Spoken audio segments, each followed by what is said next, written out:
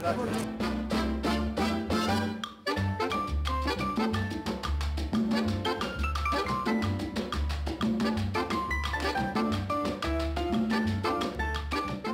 estaba muchachón, buscando a las muchachas y conociendo el ambiente, calorcito rico que me encanta. Tú sabes, todavía estaba muchachón. Yo seguía tocando mi piano de vez en cuando, pero... Ah, entonces hicimos un grupito, hicimos un grupito, los muchachos del barrio. Yo me acuerdo cuando vine al principio, yo pasaba por la esquina del barrio ahí, empezaban a chiflar. Y yo me decía el bobo, porque eran como 18 muchachos ahí, yo me decía el bobo para evitar una vaina. Yo caminando y después ya como el tercer día que me hace lo mismo, yo paro, digo, ah, que ya, esto ya se ¿qué es la vaina? Y dice, no, no, no, queremos conocerte. Me dijeron que usted toca piano, queremos... Ah, hombre, cómo no. Hicimos un grupito. Fuimos, pasamos un día por un restaurante que estaban abriendo. Estaba el señor Roncayo ahí, Rafael Roncayo. Y nosotros nos, subimos a tocar, ¿sabes? Como estábamos mostrando nuestras habilidades de ese tiempo. Y nos dijo, oye, queremos, ustedes tienen trabajo, ¿no? No, no me acuerdo exactamente. Quiero que toquen en la emisora. Ah, nosotros, para nosotros eso fue, imagínate, a esa edad. Alfonso Mesa, el pianista, que en paz descanse. Tremenda persona. Me ayudó mucho también, me, decía, toca. Yo con, pena, con nervios, tú sabes, porque por radio no se puede uno equivocar. Toca, toca. Y yo, yo me metía a decir lo posible con Alfonso Mesa, yo, pero en la estación de radio en el Paseo Bolívar, la, la vieja estación, no sé dónde queda ahora ni, ni, ni, qué es la vaina. Esa era Emisoras Unidas. Emisora Atlántico. Ah, Emisora Atlántico. Se llamaba Pacho Galán, era el director de la orquesta. Pero mi maestro, aquí, el primer maestro que tuve fue el señor Vázquez Pedredo, tremendo pianista. la posición de la mano cuando no estaba mal, me daba un trancazo ahí con un lápiz. Y yo, ay, ay, ay, le decía a mi papá, tiene que practicar, tiene que practicar. Tiene. Y así, entonces, me acuerdo que al fin hizo una, ¿cómo se dice? Como un concierto entre todos sus discípulos. Yo toco, pero yo siempre, había una parte, primera parte y segunda parte. Cuando terminaba la primera parte, yo tenía que seguir la segunda parte, pero siempre que iba al final, me equivocaba, no sé por qué. Entonces tocando allá y eso, eso, me equivoqué. Y miré así, veo una pelada ahí, y la pelada me hace, me sacó la lengua de la pelada. Yo me puse nervioso. Luego de vivir a mediados de los años 40 una temporada en Barranquilla, el joven Álvaro Escobar regresó a Nueva York a buscar su destino como músico. Porque yo te regresé a Nueva York y me metí a la Unión de Músicos a los 16 años.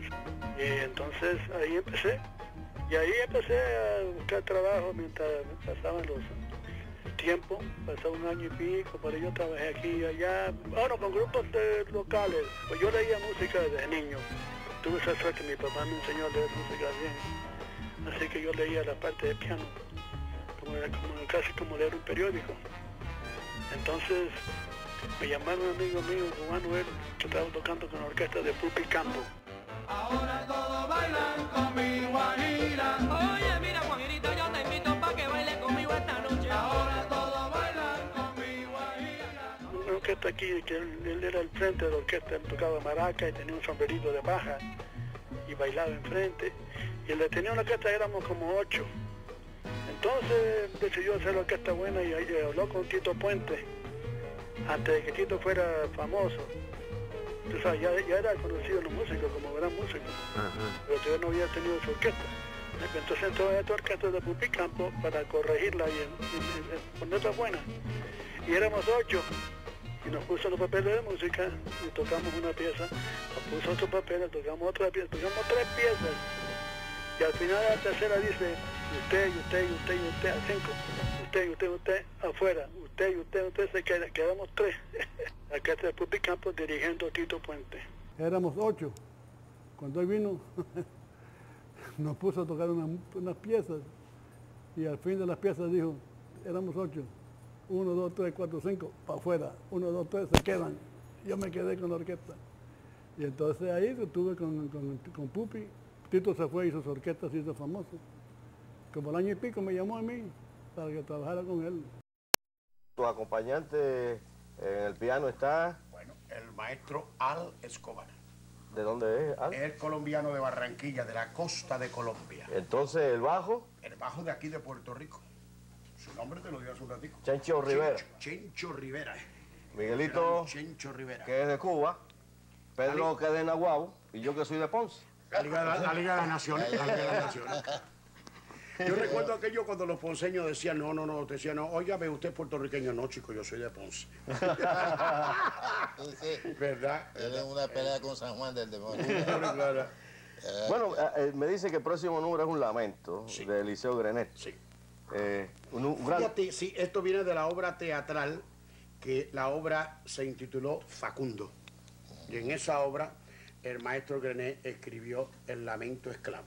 Y claro está, yo tengo una manera de identificarlo, más o menos dando a entender al público que esto, imagínenselo con una orquesta ya de 30, 40 profesores en el teatro, haciendo el bolero de Ravel, a ver, en do mayor, muchachos. Ahí.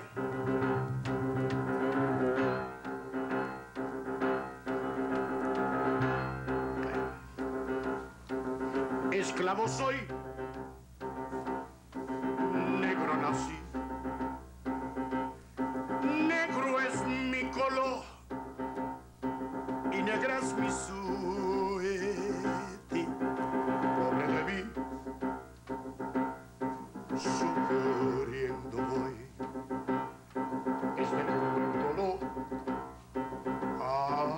hasta la muerte.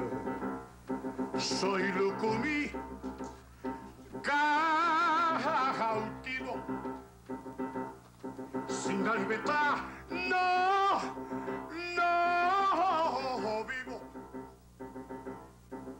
Que los negros libres un día serán. Ay, mi negra panchilla, vamos a gozar. Que los negros libres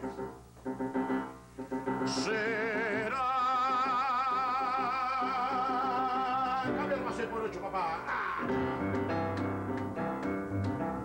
Opa churo, opa churo, opa jeje. Opa churo, opa churo, opa jeje. Opa jeje. Opa yanaya. Opa jeje. Opa yanaya. Que te mío bo, cochunquere que te mío Ochunquere que te mío bo, cochunquere que te mío bo. Amidara, jodara, jodara, coque, ochunquere que te mío bo. Amidara, jodara, jodara, coque, ochunquere que te mío bo. Oh, Yemaya, eh, cabo yo, cabo yo, Yemaya, Yemaya lo de cabo. Chango todos los días, ye, ye, ye, ye, ye, ye, esto tu pare, cabo. Dígame, neno, cabo, cuánto, cuánto, soco, co, cabo. Soy loco, mi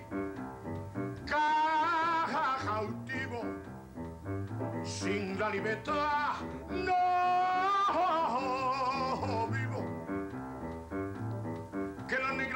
día serán. Ay, mi negra mancha, gozar. Que los negros libres, mamá.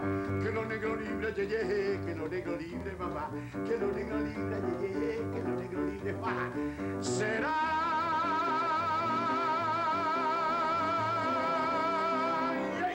¿Qué te gustó?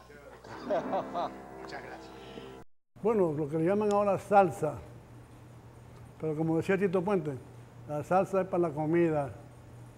En la música, la música que dicen salsa es la guaracha cubana, el son montuno, todo basado en música cubana.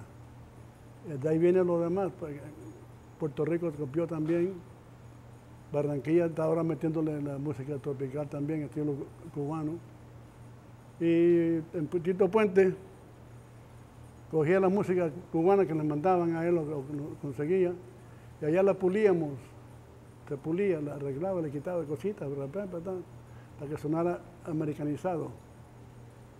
Mm, ¿Cómo te explicaría? Los armónicamente, acordes, acordes, trompetas, cuatro trompetas, bien, bien a- a- armonizadas, que sonaban entonces grandes. Y entonces él, hizo eso y fue el pri- primero en usar el cymbal grande para tocar música latina. Antes no usaban tampoco eso. Y él también usó, usó otra cosa. Se paró enfrente de la orquesta. Usualmente era atrás, los, músicos de, de ritmo. Usualmente eran atrás. Pero él cambió eso. Y se quedó así.